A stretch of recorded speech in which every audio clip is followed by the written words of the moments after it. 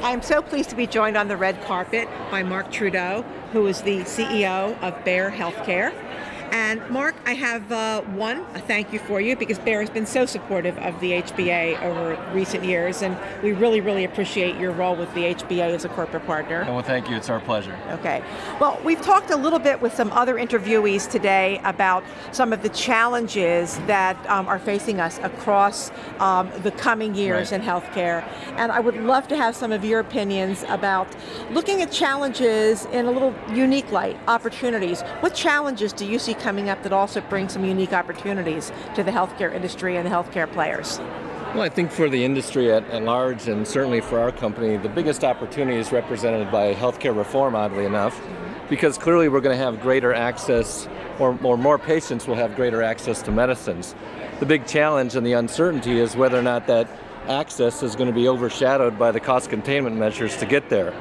But I think the industry really has the opportunity to drive innovation and as long as we continue to do that, and that's essentially what we're all about at Bayer, I think we'll have tremendous opportunities for the future. Okay. Well, with these challenges and opportunities, as I keep looking at them, what kind of different, unique leadership attributes is it going to take? Well, given the, the changing nature of the healthcare environment, I think it clearly uh, provides a lot of opportunities for people that are aspiring to senior leadership positions in our industry.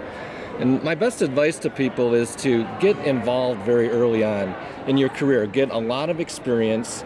Um, one of the things that I do at Bayer is I sponsor a lot of diversity of initiatives, including our Women's Leadership uh, Initiative. And one of the things that I always advise people is get involved in initiatives like these and get a broad set of experiences because in a dynamic healthcare environment, those individuals that have a broad set of experiences are going to be better prepared for the challenges of the future. Well, that's a perfect answer as far as I'm concerned because what we pride ourselves at the HBA is in some cases providing that risk-free opportunity for volunteer leaders to, you know, sort of um, you know, cut their teeth, so to speak, on some of the leadership skills required in years to come. So thank you so much for allowing us the opportunity to work with Bayer, and thank you for joining us today. It's our pleasure. Thank, thank you. you. Thanks for having me. Thank you.